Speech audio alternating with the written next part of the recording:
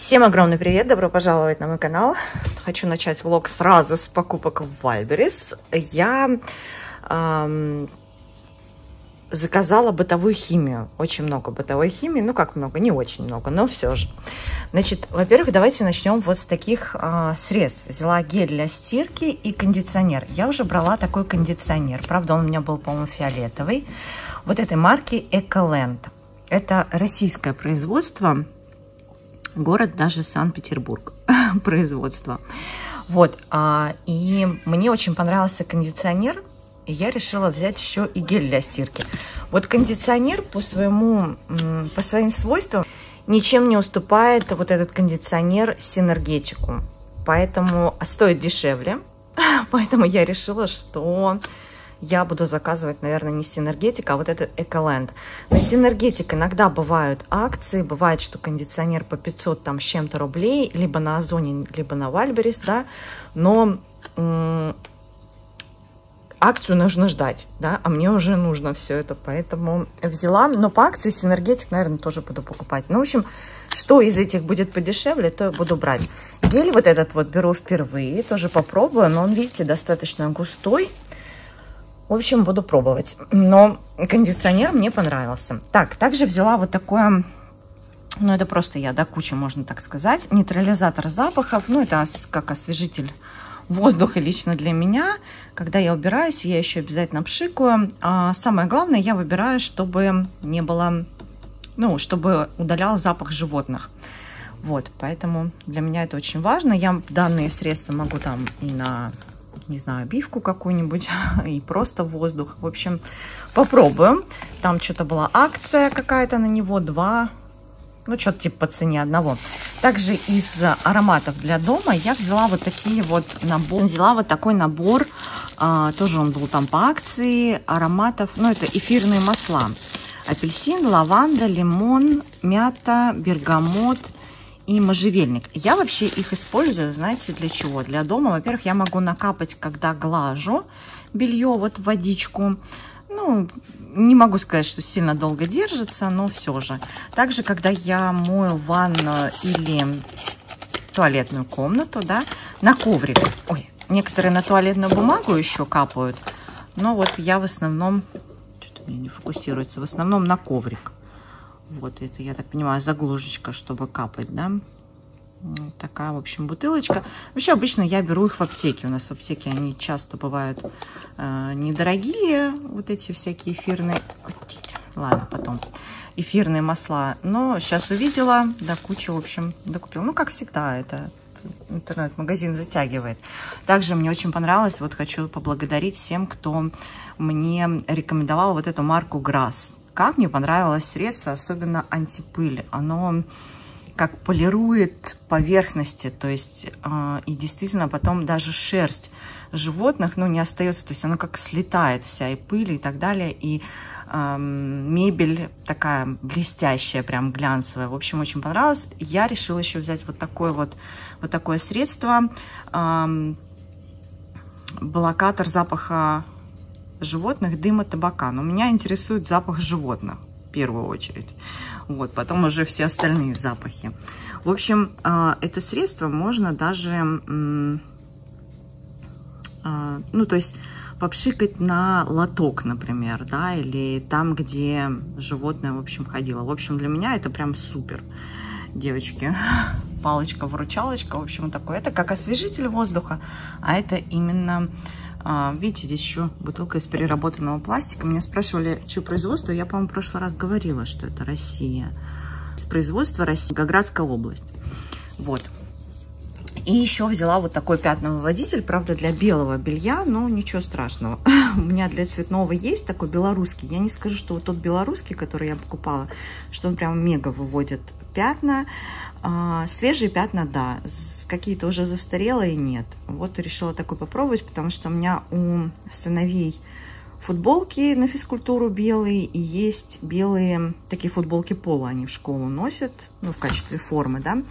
Вот, поэтому мне вот такое вот прям очень надо. У мужа тоже есть белые футболки, в общем, палочка-выручалочка. Надо мне еще для цветного белья купить такое. В общем, вот такие вот у меня были покупки. И ссылку я, конечно же, вам оставлю. Здесь, кстати, вот, забыла показать, вместе идет. Вообще все очень хорошо. Вот это грасс запаковано. Все супер. И идет вот такие вот, такой распылитель сразу. В общем, супер. Еще хочу, девочки, прям похвастаться. Не банками, банки сейчас тоже покажу, а тыквой. Вот эта мускатная тыква. Я ее очень люблю, она очень вкусная, по мне так. Вот. И она у меня все-таки выросла. Правда, всего лишь одна штучка. Но все равно. Мне многие писали, что она типа не растет. Ну, в Санкт-Петербурге, короче, не растет. Но нет, у меня одна выросла. И она уже все, видите, я ее так взяла. А я все думала, что она еще, может быть, как-то подрастет у меня. Но я ее просто в руки взяла, и она уже отпала отсюда, значит, полностью спела. Но она еще полежит сегодня, я ее готовить не буду. Полежит у меня, настоится, так сказать, и я ее потом съем. Люблю вот эту тыкву, она мне очень нравится, больше, чем обычно. А, и вот что я накрутила. Еще уже не снимала, потому что я показывала, вот этот салат я точно показывала. Это а, баклажаны, лук, морковь, а, помидоры, немножко томатной пасты. Все ингредиенты обжариваются, кроме помидор и томатной пасты, да. Складывается в одну кастрюльку, добавляете специи по вкусу, добавляете э, помидоры в блендере, ну, измельченные, протушиваете. Ну, я обычно из специй это соль, сахар, черный перец добавляю. Вот стерилизованные баночки, потом э, стерилизую в духовке, в духовке при температуре 105 градусов, ну, минут 30, 20-30 вот такие баночки. Так, у меня получилось раз, два, три, четыре, пять. Пять штучек из баклажан. Правда, тут всякие э, разные банки, разные по размеру. Супер. Кстати, вот с такими заготовками я все. Вот.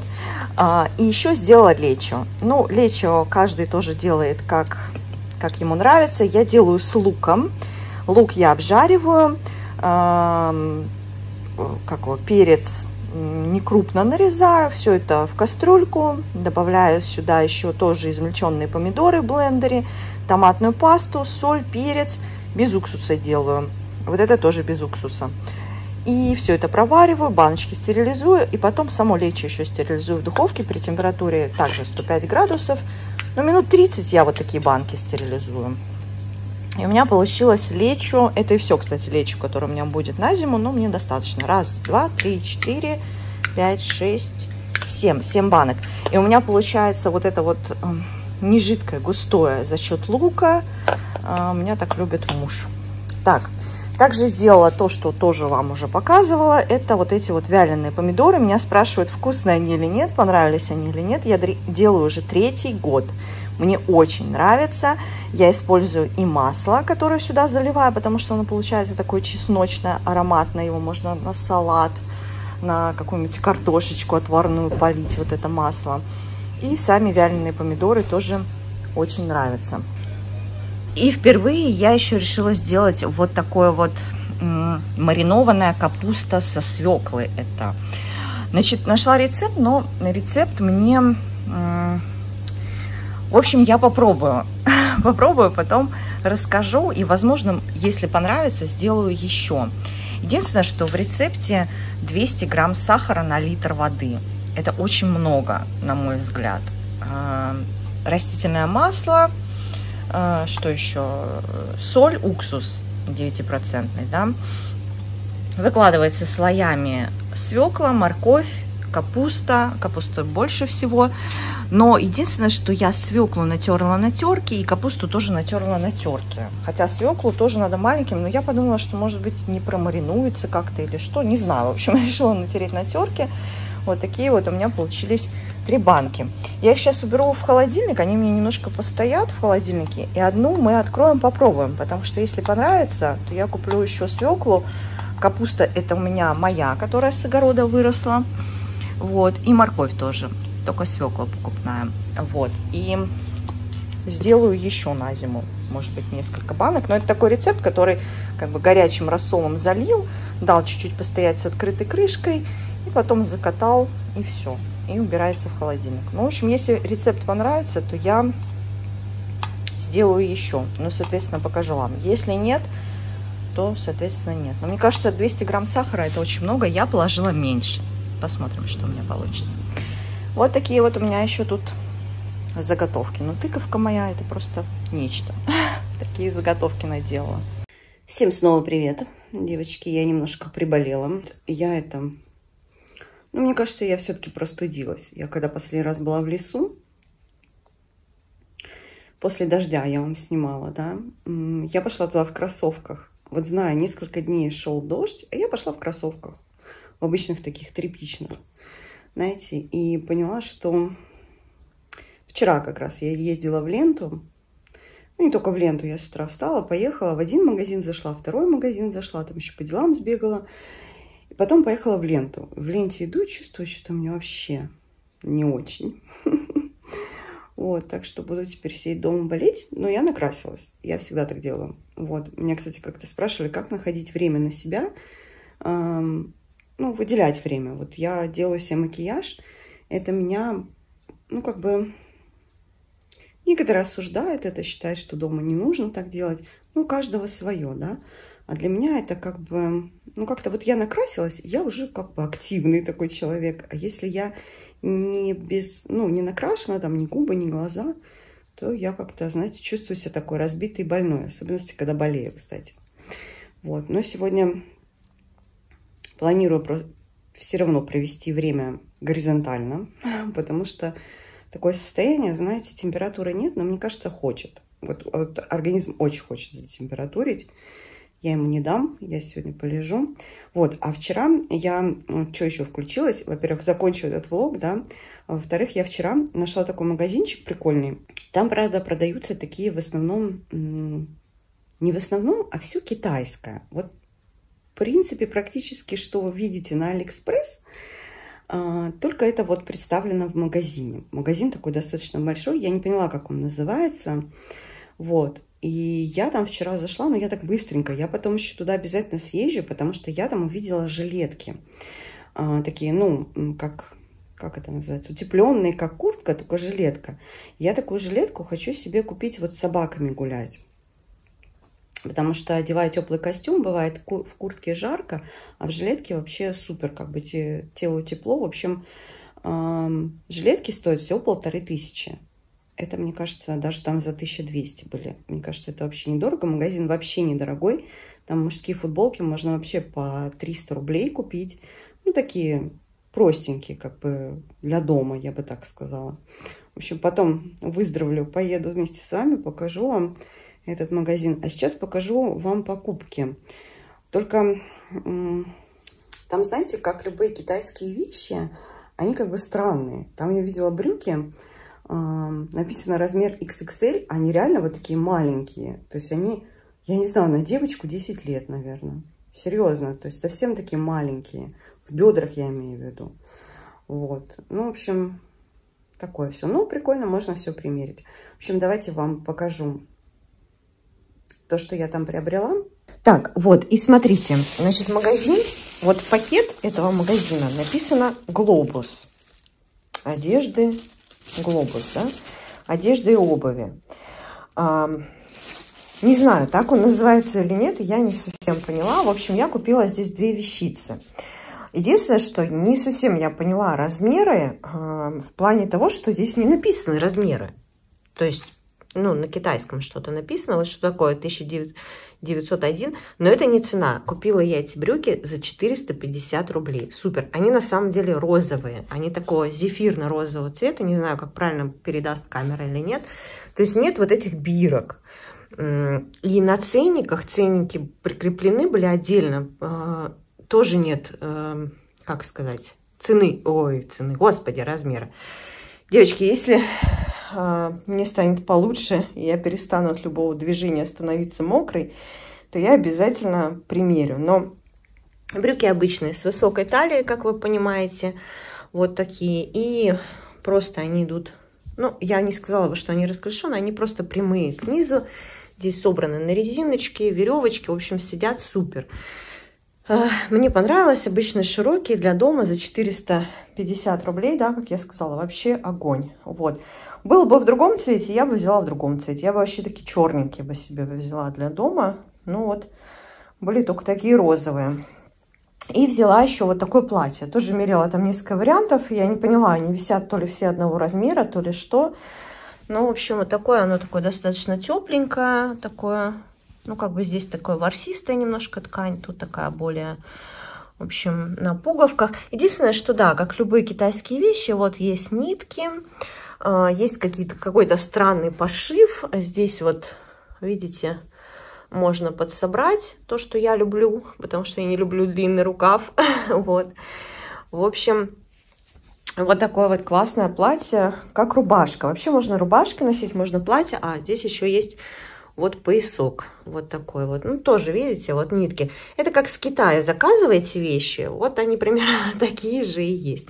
Но вот это вот классные, там классные мужские футболки, э, то есть, в принципе, можно найти ну, есть одежда очень хорошая, а есть не очень хорошая. Как вот, в общем, да. В общем, я так понимаю, что все это китайское, да, и, соответственно, ну, прикольно, можно зато померить, походить, выбрать. Да, платье стоит 900, 900 рублей ровно я за него заплатила. Отлично, я его взяла для дома, ну, можно не только для дома, оно и было еще э, в таком красноватом оттенке, ну, я решила такой посветлее, я люблю посветлее. И брючки такие с футболочкой, с маечкой, вообще супер, они такие широкие. Ну, в общем, если буду себя получше чувствовать, то я обязательно примерю, покажу. А тут у меня, смотрите, кто. Кто это такие красавчики? Кто это такие вообще? Особенно вот тот рыженький вообще красавчик. Да, такие классные. Вот какой хороший-то, боже мой. Видите, да, насколько а, Леофан больше, чем Каспер. Вообще. Каспер такой маленький, кажется, по сравнению с ним. Да, Касперюшечка. Хотя Каспер у меня достаточно крупный кот. То есть, если, например, брать кошку Гуню, то она еще меньше Каспера. Вообще он такой, ну, достаточно крупный кот у меня. Такие у меня красавчики. Боже мой, какие хорошие мальчишки мои. Девчонки на улице, а мальчишки с мамочкой болеют. Да? Да, вот такие сладкие такие мальчики у меня. Мама завтраком накормила. Хорошо, жизнь. Вот это жизнь, да, Касперюша? Касперюша тоже боец еще тот, да? Кого пузика толстая? Но ну, не буду тебя трогать, не буду. Вот второй красавчик. Ну, красавчики у меня сплошные. Вот, ну а потом обязательно я, когда поеду, когда выздоровлю, я возьму вас с собой, погуляем в этом магазине, тем более мне нужно там мальчишкам моим футболочки купить для дома. Ну, в общем, посмотрим, там с вами погуляем. Вот. Но магазин прикольный. Мне кажется, вот такое платье-рубашка за 900 рублей вообще супер. Как вы считаете? Я считаю, что супер. Вот. Но в любом случае, в этой одежде я сейчас примерять не буду, потому что все еще плохо себя чувствую, да. А, я... Потом вы меня в домашних влогах каких-то увидите на мне вот эту и платье-рубашку, и брюки. Я обязательно вам э, покажу в каком-нибудь из видео, когда буду в этой одежде. Я вам ее обязательно покажу. В общем, вот такой вот у меня получился влог. Эм, следующий уже видит, выйдет покупки из магазина Лента. Я надеюсь, что вам понравилось такое видео, было полезным и интересным. Вот. Буду прощаться, буду лежать сегодня. Вот. Но в этом тоже есть плюс. Сейчас намонтирую все видео, которые я поснимала. Вот. И загружу их на канал. Вот. Всех люблю, целую. До новых встреч.